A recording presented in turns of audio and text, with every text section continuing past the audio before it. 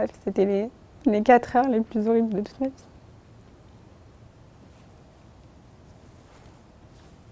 Désolée.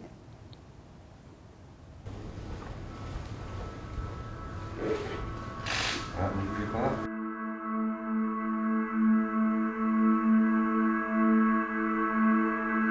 à part des choses et de me dire que pas tout le monde était comme nous.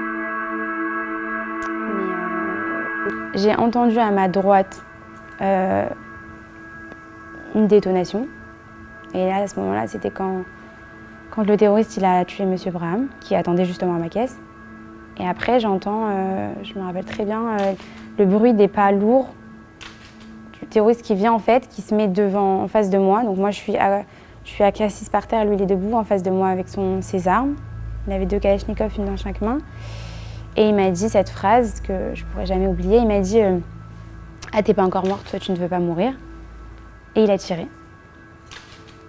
Euh, c'est en regardant à côté de moi et en voyant l'impact de la balle dans ma caisse que j'ai compris que, que clairement euh, j'avais failli mourir. Vous avez peur ce procès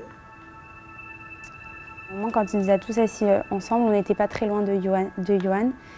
Et Samuel, il me disait, euh, c'est un très bon ami à lui, il me disait, Zari, regarde Johan, il est blessé, qu'est-ce qu'on fait?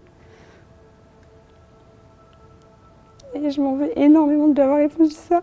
Et je lui ai dit, essaye de ne pas, pas te concentrer sur lui. Ne pense pas à Johan. Il faut penser à survivre.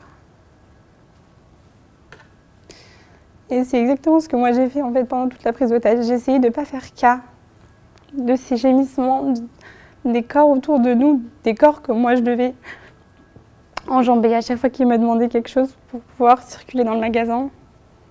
L'odeur, l'odeur, cette odeur de poudre, de fer, du sang qui, qui, a coagulé.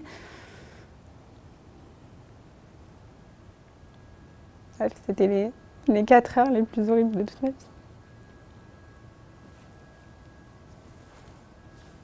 Désolée.